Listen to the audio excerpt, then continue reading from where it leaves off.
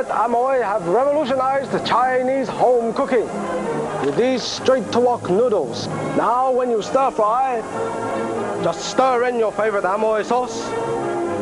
Then add the ready-cooked Amoy noodles straight from the pack.